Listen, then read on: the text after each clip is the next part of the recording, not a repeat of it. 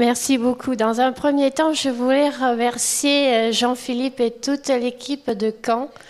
C'était une journée magnifique. Le lieu est magnifique. On est super bien accueillis. Il y a un détail qui ne va pas. La passe présidente de l'ADARPEF a trop chaud. Voilà. S'il vous plaît, on va aérer. Donc, vous m'avez demandé de plancher sur l'anesthésie pédiatrique en 2030. le seul conflit d'intérêt que j'y vois, c'est que j'espère y arriver. Je me suis dit 2030, c'est dans, mais qu'est-ce qu'ils me font là? C'est dans huit ans. Puis après, je me suis retournée, je me suis dit, mais il y a huit ans de ça, c'était quoi? C'était 2014. Vous vous rappelez ce qu'il y avait en 2014 Il y avait Francis, il était président de la DARPEF. Vous allez me dire, c'est pas suffisant, il a été président trois ans. C'était une des trois années. La SFAR a édité des recommandations, transfusion de globules, recommandations sur la réanimation, enfin, plein de travaux très importants essentiellement sur l'adulte. Bon, c'est pas ça qui va remettre les repères en place. 2014, c'est Malala qui reçoit le prix Nobel de la paix. Est-ce que ça vous aide?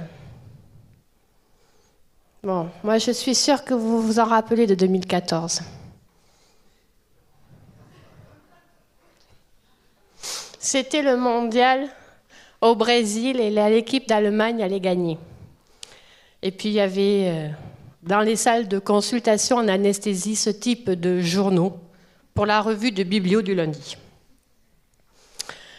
Donc c'est 2014, c'était hier.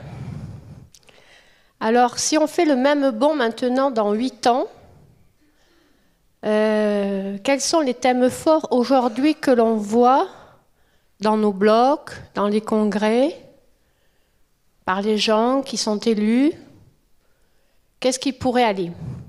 Je pense que en 2030, j'espère que la green anesthesia sera au cœur de nos soucis.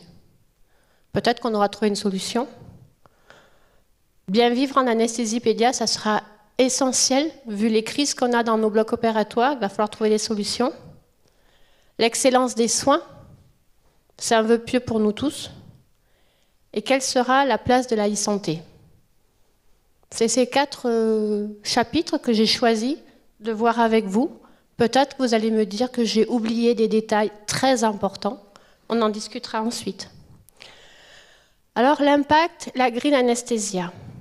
Ce papier publié dans le Lancet en 2017, vous voyez, ça fait quand même déjà cinq ans, montrait la pollution issue des blocs opératoires, trois hôpitaux deux aux États-Unis, le A et le B, le C en Grande-Bretagne. A et B ont des respirateurs avec euh, des, débits, de gaz frais élevés, difficile de fermer les circuits. Et donc, lorsqu'on a un débit de gaz frais élevé, même si on est chez l'adulte, on consomme beaucoup de gaz halogéné. Et donc, on va polluer, on va y revenir. Et c'était même dans le cas A la majeure partie, la première source d'émissions de, gaz à effet de serre. C'était chez l'adulte, où on induit en intraveineux, souvent, et on fait un relais sur des systèmes qui sont à peu près, on va dire, hermétiques.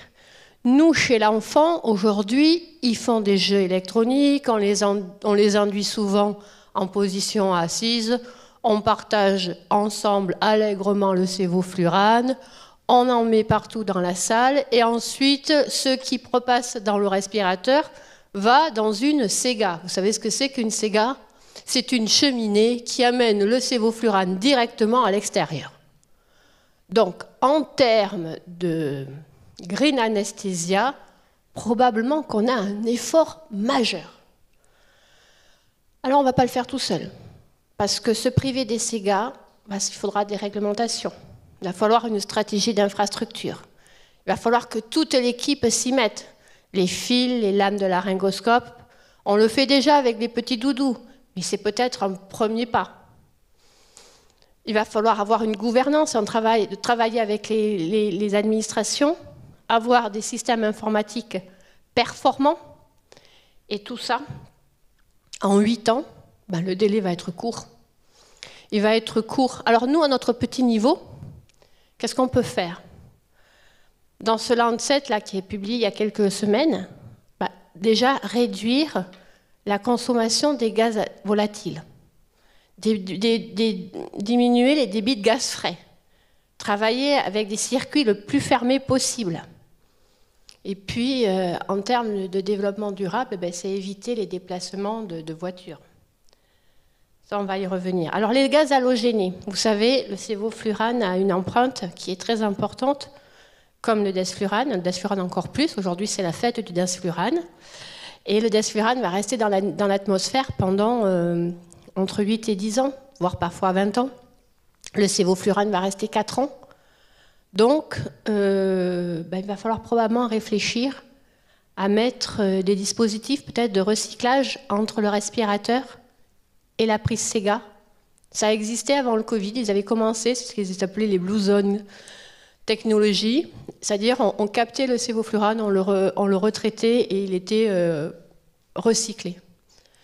Peut-être qu'il va falloir travailler sur ces, sur ces points-là pour aller en 2030, pour éviter de se servir de ces cheminées qui relarguent les molécules en l'état.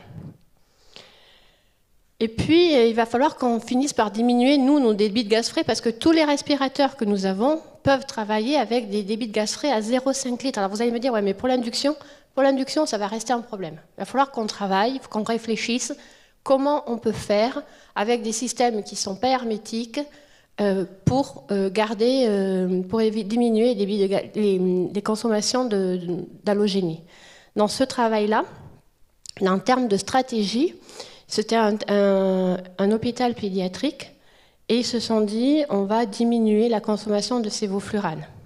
Ils ont travaillé avec des respirateurs de dernière génération mais en fait, pour changer les habitudes, c'est dur, c'est difficile. Il faut de l'éducation, il faut des rappels, il faut du management, il faut des nouvelles technologies.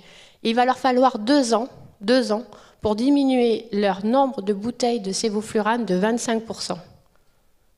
C'est faisable, même en pédiatrie. Mais ça veut dire qu'il faut être hyper rigoureux sur les débits de gaz frais. Et il faut que ça soit un travail d'équipe. Seul, on n'y arrivera pas.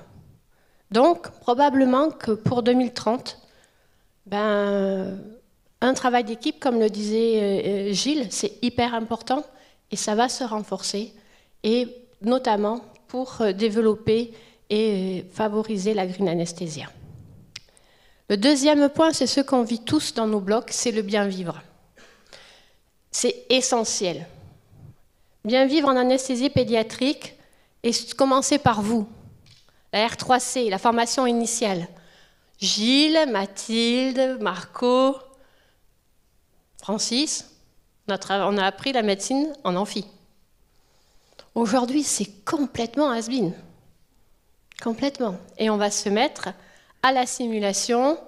Et aujourd'hui, c'est compliqué avec les seniors, mais il va falloir y venir. Et la pédiatrie se prête de façon très adaptée à la, simulation. Et ça va être aujourd'hui, il y a trois ans de ça, on en faisait une par, euh, une par formation. Là, on en fait tous les ans, une, simulation tous les, une à deux simulations par an par promotion. Mais les internes, ils demandent, ils demandent, il va falloir qu'on s'organise pour peut-être encore plus euh, développer cette, euh, cette, simulation. Alors vous, à, à Caen, vous êtes très en avance avec Clément, qui fait même de la recherche en simulation avec la sphère jeune. Bon, donc c'est probablement vers là qu'on va aller, mais moi je crois quand même aussi euh, à ce type de rencontre, et dans tous les cas, il faudra quand même qu'on garde un petit peu de l'humain euh, dans nos rencontres et notre éducation. Et puis dans notre pratique, on travaille en situation de crise, on sait, on a tout dans la tête, mais la contamination de la culture de l'aviation arrive, et les écarts, les fiches, les aides cognitives, et il faut qu'on apprenne à les utiliser en simulation et puis après au quotidien. C'est vrai qu'en pédiatrie, c'est pas facile de regarder la fiche, le laryngospasme, le peu de temps, mais bon, il faut trouver une routine et probablement que c'est une évolution de notre pratique qui va arriver et vous avez toutes ces, fiches qui sont disponibles sur les smartphones. Alors, qui fera de l'anesthésie en pédiatrique? Deux images très provoques. La première, à gauche, trois IAD, trois docteurs. On était large. C'est une photo clin d'œil. C'était la première anesthésie au CHU de Bordeaux dans notre nouveau bloc il y a 15 jours, enfin il y a quelques mois. 9, 9 mars, très précisément. J'étais un peu stressée pour la première anesthésie, on avait triplé l'équipe. Maintenant, ça va beaucoup mieux. Mais euh, un, c'est probablement pas suffisant. Pourquoi? Parce qu'en fait, l'enfant, on, on est confronté à des incidents qui sont cardiovasculaires, représentés en rouge, respiratoires, représentés en bleu, et trois études font état, l'Isabelle Murat, De Graff et le fameux Apricote. Et globalement, sur les moins de 1 an, eh bien, on a fréquemment des incidents respiratoires et également cardiaques. Et lorsqu'on regarde avec un peu plus d'attention Apricote, que vous avez vu à moult reprises, 2017, 31 127 anesthésies, les incidents périopératoires 5,2%, ben, les majeurs facteurs de risque, c'est l'âge et l'histoire de la maladie. Et dans l'étude multivariée, un des, facteurs de risque qui ressort, c'est l'expérience du seigneur d'anesthésie, qui va être probablement au cœur de nos discussions dans les, premières, prochaines semaines et peut-être les prochaines années. Alors, qui fera de l'anesthésie en pédiatrique en 2030 Déjà en 2022, il y a des recommandations internationales. NICE a, publié ses recommandations. Les, Allemands ont également publié leurs recommandations. La SFAR est en cours. Aujourd'hui, une pratique régulière de l'anesthésie pédiatrique est recommandée surtout sur les petits âges. Maintenant, comment Combien? Je pense que vous allez assister à des, discussions qui vont être vives et nous vous encourageons à, les suivre dans l'année qui arrive. Pas besoin d'attendre 2030, 2022, 2023 vous en entendrez parler, mais le temps que ça se mette en place, peut-être on espérera que ça sera mis en place en 2030. Alors où se fera l'anesthésie pédiatrique? Ben Ça, on a eu un superbe bloc, magnifique, c'est magnifique. Mais bon, c'est un, peu frais. Les, couloirs sont grands. Alors bon, pour faire de la voiture, c'est bien. Mais euh, on pourrait imaginer un peu plus de chaleur et ce qu'on aimerait, c'est ce qui se passe parce qu'ils ont quand même proposé dans un, secteur quelque chose de super. Cet enfant, l'enfant est debout, il va choisir son ambiance, donc il est debout, pas dans son lit, il est debout, il choisit son ambiance, et quand il rentre dans la salle, il est à l'IRM. Alors là, de façon très curieuse, on veut tous y aller à l'IRM. Donc ça, sur le plan architectural, en 2030, probablement que ça fera partie des challenges qu'on doit nous se battre, que vous, vous devez vous battre, parce que demain, ça sera vous qui serez les, seniors, et on doit se battre, c'est faisable, et les mêmes architectes sont capables de faire des, grands couloirs tout droits à l'intérieur d'un bloc, et quand on ouvre un bloc, on voit ça. Donc il y a de l'espoir. C'est essentiel pour l'enfant parce que vous vous imaginez que nous, ce qu'on attend, c'est une diminution du nombre d'anesthésies dans l'IRM pédiatrique. Et c'est une lutte contre l'anxiété, probablement des enfants et des seniors. Aujourd'hui, à l'hôpital, le maître mot, c'est probablement le jeu.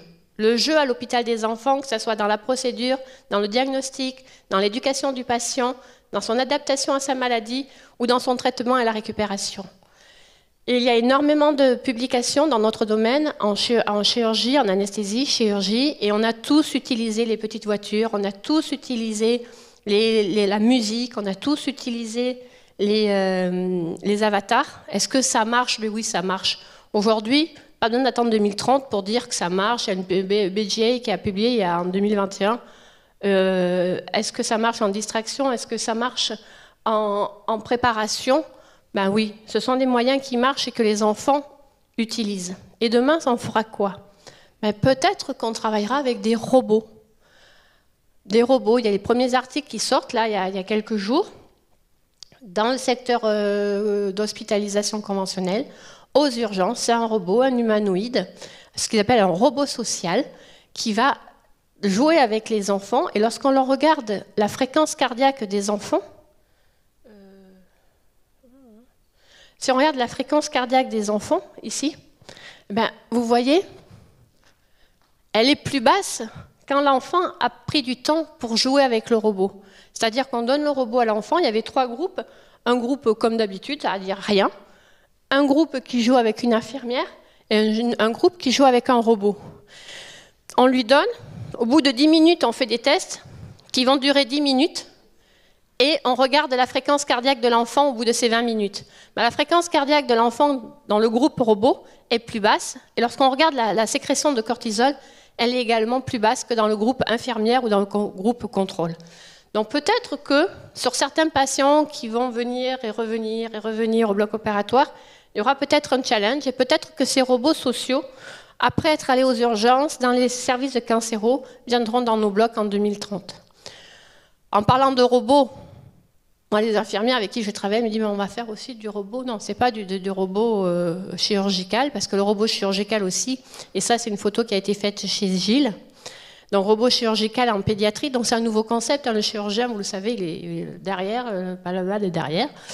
Euh, mais qu'est-ce que ça change pour nous, anesthésistes? Ben, Sur le plan hémodynamique, pas grand-chose. A toujours des hypotensions, des hypertensions, des arythmies, toutes les, conséquences du pneumopéritoine, euh, les hypoxies, les atélectasies, et puis tout ce qui est lié à l'installation, les neuropathies, globalement, les problèmes ophtalmo, c'est-à-dire que nous, qu'on soit en laparo ou en robot. Parfois, ça dure un peu plus longtemps, mais il n'y a pas beaucoup de changements. Alors, les guidelines, c'est quoi? Ben, C'est toujours les mêmes choses, être vigilant sur l'ergonomie, être vigilant sur le monitoring, hémodynamique, respiratoire, les, les, paramètres vitaux, être optimal sur la ventilation, respecter la normovolémie, respecter la pression intra-abdominale, respecter les, les, les, effets délétères du, du, du pneumopéritoine. Enfin, tout ça, on connaît. En fait, euh, c'est les safe thoughts. Et c'est le travail que va faire euh, notre hôte, Jean-Philippe, si j'ai bien compris. Parce que les objectifs, quelle que soit la technique chirurgicale, pour nous, ils sont fixés. C'est les dizaines, c'est l'anxiété, lutter contre l'anxiété, la normovolémie, la normotension, le fréquence cardiaque normale, la normoxie, la normocapnie, la normonatrémie, la normoglycémie, la normothermie, la, prise en charge du, post-opératoire. Donc les objectifs, on les connaît. Qu'est-ce qui nous manque pour 2030 C'est les moyens. Est-ce qu'on a toujours des moyens adaptés? On n'a pas les outils. Et puis ces effets, quelles sont les conséquences sur le post-op? On ne sait pas. On sait que certains, mais le bundle, ça c'est le travail que va faire Jean-Philippe, si j'ai bien compris, n'est-ce pas? Donc, le temps que tu ailles, que tu fasses étude et que tu la publies, on sera en 2026, 2028.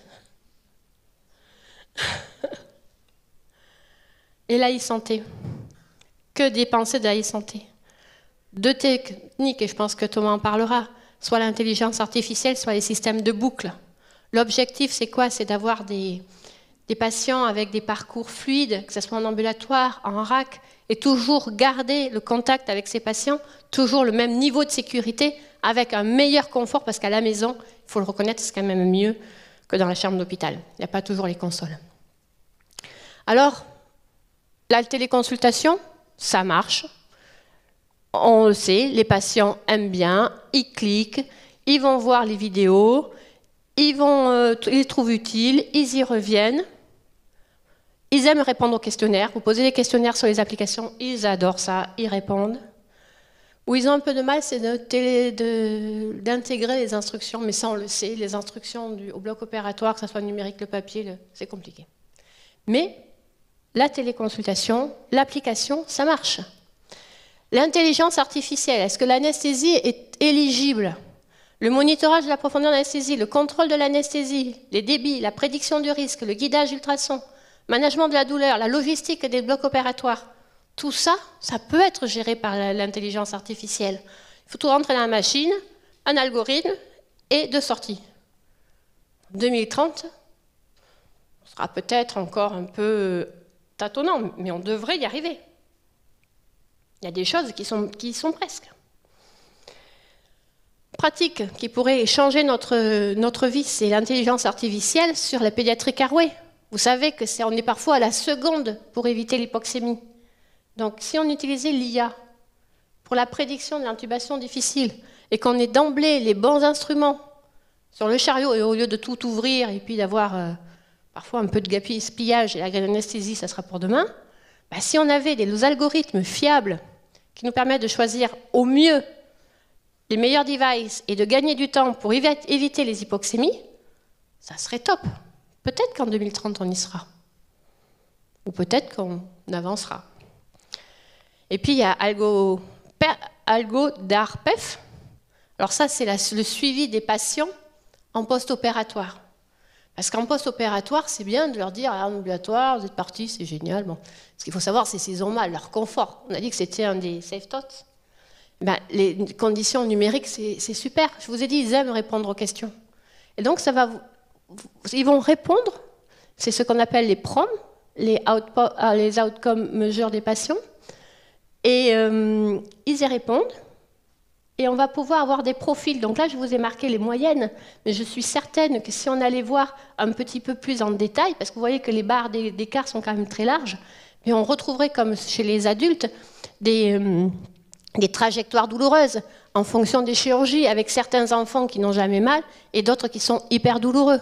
Et ça, probablement que le numérique va nous permettre de personnaliser les patients. Et puis demain, ben c'est ce qu'on a appris des pandémies, ce qu'on a appris de la Covid, les réseaux, mettre nos établissements en réseau. C'est ce qui s'est passé aux États-Unis.